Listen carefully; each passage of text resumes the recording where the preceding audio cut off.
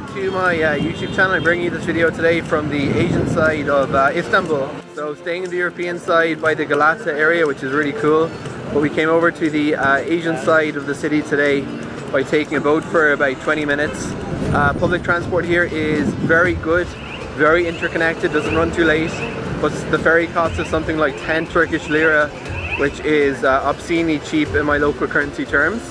And uh, on the Asian side we found a lot of amazing food, a lot of amazing raki, which is the local Turkish spirit based on aniseed a bit like uh, arak in Israel or ouzo in Greece. And uh, of course we're visiting Turkey at a very intriguing time just after the uh, victory in the presidential runoff of Recep Tayyip Erdogan who run the elections and the first day I got here there was actually these huge kind of parades celebrating him, but uh, a few days after that, stuff is already kind of uh, a lot. So we're just checking out the Asian side today, and uh, really interesting, a bit less visited by tourists, but there's a lot to do over here.